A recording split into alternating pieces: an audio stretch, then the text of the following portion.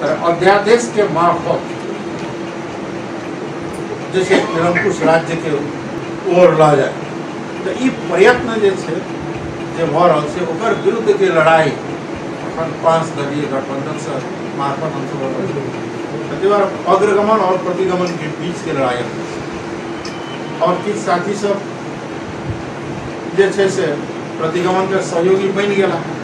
होइ स्वाभाविक अहाँके देखैत होइत दू हज़ार सत्रह सालमे जखन राजा महेंद्र टू केलकै तऽ ओहि टाइममे एकटा मधेसी पार्टी एकटा मात्र तराई कांग्रेस वेदानंद झा पूरे तराई कऽ राजा महेंद्र के शरणमे चलि गेल।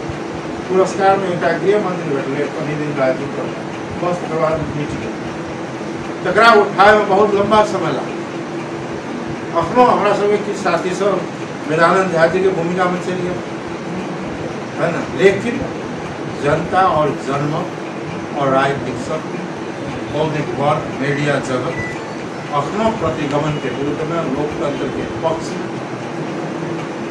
और प्राप्त उपलब्धि के संरक्षण के पक्ष में खड़ा छै ताहि दुआरे अब संघर्ष भइए रहल और ये निरंतर रहते जब तक प्रतिगमन के खतरा रहते जब तक मुल्क में प्रतिक्रांति के खतरा रहते तब तक हम सब जे छै, संघर्ष करेंगे और जे गठबंधन बनायल गेलै ओ प्रतिगमन के विरुद्ध के लड़ाई के लेल बनायल गेलै और वो जारी